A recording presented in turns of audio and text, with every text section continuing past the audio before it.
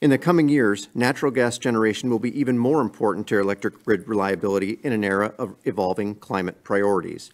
The most prominent voices highlighting reliability concerns are NERC, FERC, and the grid operators themselves, neutral, independent parties with a great understanding of the threats facing the electric grid. Second, electrification policies are only going to increase demands on the power grid at a time when state and federal policies and regulations are driving existing dispatchable resources off the system. Some who would dismiss concerns about the loss of both natural gas and coal generation cite uh, advancements in both long-duration battery storage and CCS technologies to calm fears about reliability. It's important to note that as of June 2023, not a single commercial power plant in the United States uses CCS technology, and there are no megawatts of long-duration, multi-day battery storage interconnected to the bulk power system.